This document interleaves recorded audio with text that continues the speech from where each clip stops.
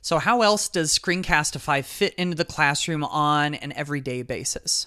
Well, one great way to use it has to do with feedback. And if you've ever assigned traditional homework and have graded it and given it back to students, you probably know where that homework ends up a lot of times in the trash. And a lot of times we get to leaving those comments and leaving that feedback on those papers and giving it back to students, and they don't end up doing anything with it.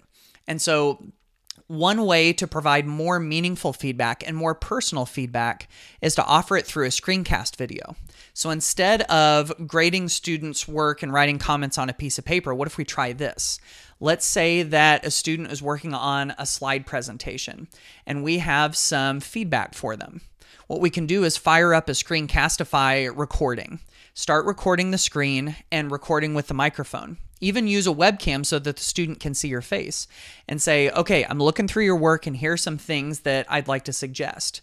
I'd like to say that this picture looks good, but we need to add some text. And so, what I would do is, and so then you just proceed to give feedback.